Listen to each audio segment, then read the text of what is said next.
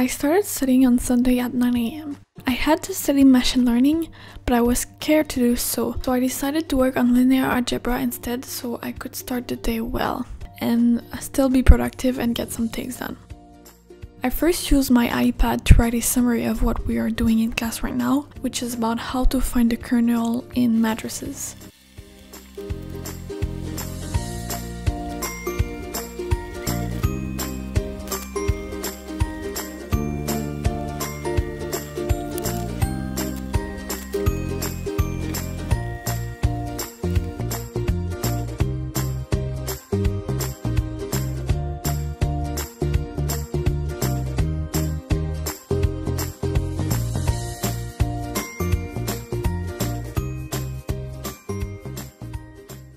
My teacher wrote a 26 pages summary of the theory we will cover in the second half of the semester, so I read it because I couldn't understand an exercise that I had to do for the week.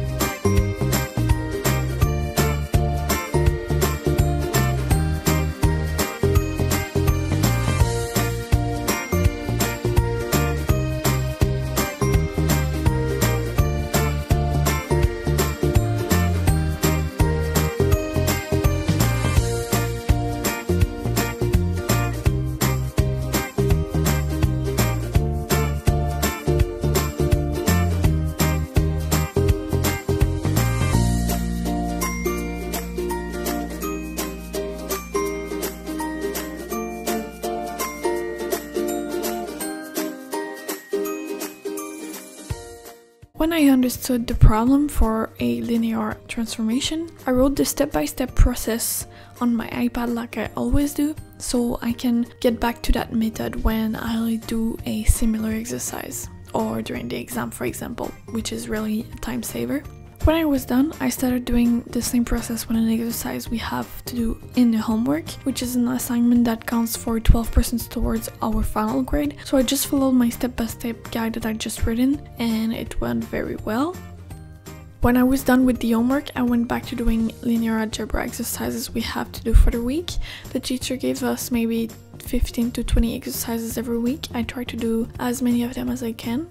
All the exercises that the professor suggests are written in the cover page of my notebook, so when I finish one, I highlight it on the cover page so I know it's done. So yeah, I did this for a few hours, writing my learnings on the summary so I can remember it well, doing some exercises, going back to the homework to complete new numbers that I now understand that are similar to the one we have to practice in the book. Then I cleaned my desk and switched subjects, started studying machine learning for real now. I have to implement Bayes' naive algorithm from scratch in Python, so I went back to my notes from two years ago in my statistics class to revise Bayes' formula.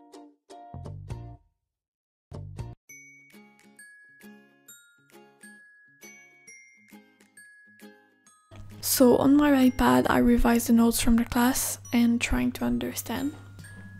After that I it was 5 p.m. so I just studied for 7 hours with a 50 minute breaks to eat lunch and 10 minute break every 50 minutes of working. So I took a 3 hour break to have lunch and relax. So from 5 p.m. to 8 8:30 p.m. I didn't do anything but I started working again at 8:30 p.m. I um, revise class 9 of machine learning. So i wrote a summary about that class. I'm not done but i i was tired. I finished working at 10 p.m on machine learning so i needed a break. And when i finished i actually just went on the couch and started editing this video. It took me an hour and now i'm recording the voiceover 20 minutes later so i actually worked until midnight that day. So I started at 9 a.m. and I finished at midnight with maybe five hours of break during that time. I don't know. I'm not really counting, but yeah. So that was a huge day. I usually work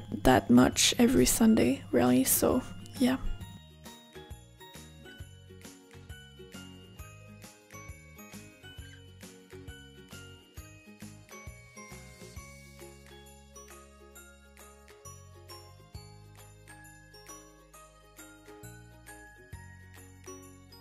I'll see you in another video. Thank you for watching and don't forget to visit my blog girlknowstech.com